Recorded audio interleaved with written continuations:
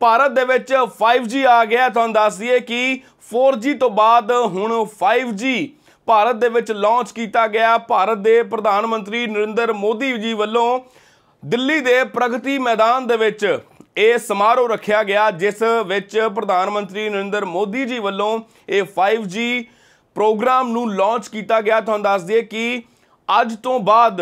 ਭਾਰਤ ਦੇ ਵਿੱਚ ਇਹ 5G ਨੈਟਵਰਕ ਜਿਹੜਾ ਹੈ, ਉਹ ਚੱਲਣਾ ਸ਼ੁਰੂ ਹੋ ਜਾਏਗਾ ਔਰ ਇਸ ਸਮਾਰੋਹ ਦੇ ਵਿੱਚ ਜਿੰਨੀਆਂ ਵੀ ਟੈਲੀਕਾਮ ਕੰਪਨੀਆਂ ਨੇ ਪ੍ਰਾਈਵੇਟ ਕੰਪਨੀਆਂ ਨੇ 에ਅਰਟੈਲ ਦੀ ਗੱਲ ਕਰੀਏ ਰਿਲਾਇੰਸ Jio ਦੀ ਗੱਲ ਕਰੀਏ ਜਾਂ ਵੋਡਾਫੋਨ ਆਈਡੀਆ VI ਦੀ ਗੱਲ ਕਰੀਏ, ਇਹਨਾਂ ਕੰਪਨੀਆਂ ਨੇ ਆਪਣੇ ਡੈਮੋਜ਼ ਪੇਸ਼ ਕੀਤੇ। ਤੁਹਾਨੂੰ ਦੱਸਦੇ ਕਿ ਅਲੱਗ-ਅਲੱਗ ਥਾਵਾਂ ਤੇ ਜਿਹੜੇ ਡੈਮੋਜ਼ ਪੇਸ਼ ਕੀਤੇ ਗਏ, ਜਿਨ੍ਹਾਂ ਨੂੰ ਨਰਿੰਦਰ ਮੋਦੀ ਨੇ ਦੇਖਿਆ ਔਰ ਤੁਹਾਨੂੰ ਦੱਸਦੇ ਕਿ ਭਾਰਤ ਦੇ ਵਿੱਚ 5G ਲਾਂਚ ਹੋਣ ਦੇ ਨਾਲ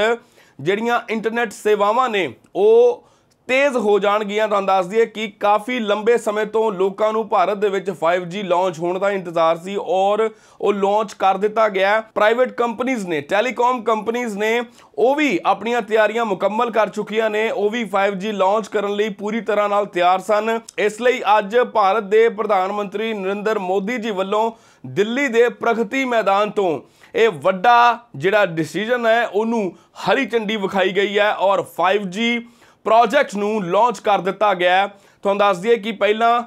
13 ਵੱਡੇ ਸ਼ਹਿਰਾਂ ਦੇ ਵਿੱਚ ਇਹ ਲਾਂਚ ਹੋਵੇਗਾ ਹੌਲੀ ਹੌਲੀ ਫਿਰ ਪੂਰੇ ਭਾਰਤ ਦੇ ਵਿੱਚ ਇਸ 5G ਨੈਟਵਰਕ ਸਰਵਿਸਿਜ਼ ਨੂੰ ਲਾਂਚ ਕਰ ਦਿੱਤਾ ਜਾਵੇਗਾ।